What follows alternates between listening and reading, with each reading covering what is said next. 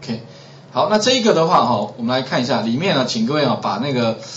建议是把里面的这一个 re 呃 relative layout 先把它 change layout 好了，也是一样把它改成 linear layout 按确定，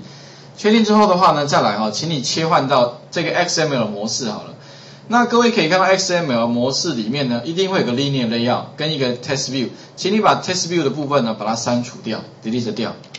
delete 掉之后的话呢，请各位哈切到你刚刚申请 API key，它是不是会产生一个？当然有一些乱码，你不用你不用理会它，这个是 IE IE 本身哈的问题。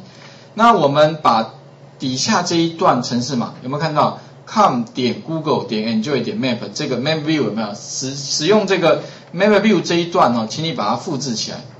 一记得一定要到斜线。斜线这个大于的这个这个这一段哈，然后你把它怎么样呢？贴到我们的城市码，贴进来，Ctrl Shift 加 F，我把它格式化一下。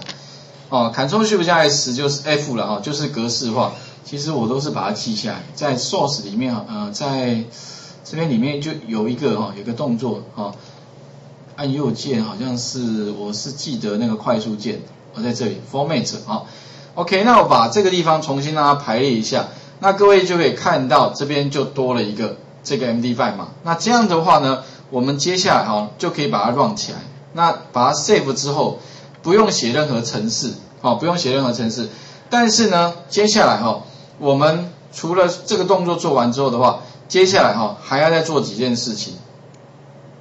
把这个接上哈。那因为我们会用到这一个这个地方有个 com 点 Google Enjoy 的这一个。呃，这个外部引用的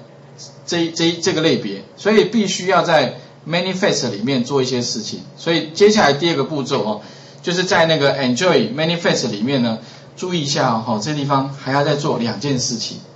第一件事情呢，引用 application，我要引用什么呢？引用哦，特别重要，这地方我们之前在用 activity 里面有用过。那请你 add 的时候呢，之前好像是用 activity，还有印象哈？那这里的话呢，请你选择 use library，因为我们是要用外部的那个 main view 是外部的，所以我要使用这个啊这个程式库 library 哈，按确定，确定之后的话呢，他会问你说你的 library 在哪里？所以接下来第二步呢，请你哈去找到那个 library，那在哪里？name 的这个箭头点一下，这个时候呢会出现哈有一个叫什么 com 点 google。